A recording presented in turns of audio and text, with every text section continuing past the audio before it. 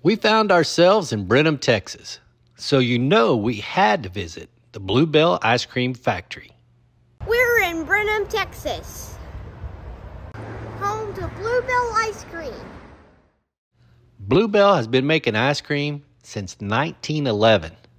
They started out by hand cranking two gallons of ice cream a day in a wooden tub filled with ice. They delivered the ice cream by horse and wagon, a practice they continued until the 1930s. In 1946, they bought their first refrigerated truck to serve customers further away. From those humble beginnings, Bluebell ice cream is now available in 23 states. Even though it's not available in more than half the states, it's the third most popular ice cream in the United States. To satisfy demand, they now make more than 160,000 gallons of ice cream a day. A year's worth of Bluebell ice cream production would cover the playing surface of Kyle Field at nearby Texas A&M to a height of 140 feet. That is higher than the top row of the stands. Bluebell makes about 70 flavors of ice cream, 24 of which are offered year round, and the rest are rotated on a seasonal basis. They operate several factories and distribution centers, and we toured the visitor center at the Brenham plant to find out more about the company and to see how ice cream is made.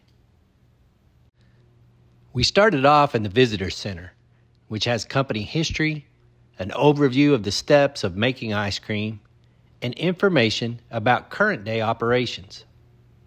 They have some cool displays and spots to take pictures. Then we walked over to another building, which has an observation deck, an ice cream parlor, and a gift shop. We talked to several employees along the way, and they told us it's true. They really do eat all they can and sell the rest. All the employees enjoy free ice cream. The observation deck provides a great look at the factory floor. Unfortunately, recording wasn't allowed. Trust me, it was awesome. But we did manage to catch some footage of the ice cream being made on one of the TVs in the ice cream parlor.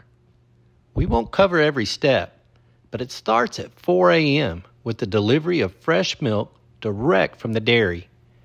There's safety testing, quality testing, pasteurization, and lots of steps to ensure creaminess and flavor.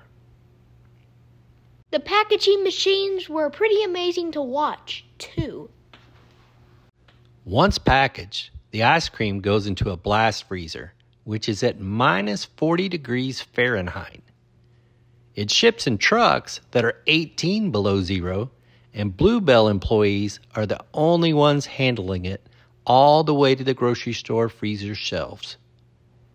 After the observation deck, we went to everyone's favorite part of the tour the ice cream parlor.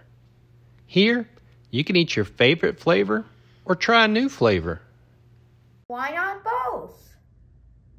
And afterwards, you can visit their gift shop for a wide range of Bluebell branded products. Dad tried to get me a hat, but I just wanted more ice cream. If you're near Brenham, Texas, or their factory in Alabama, stop in for a tour. It's sure to be one of the tastiest learning adventures you've ever been on. See you on our next adventure!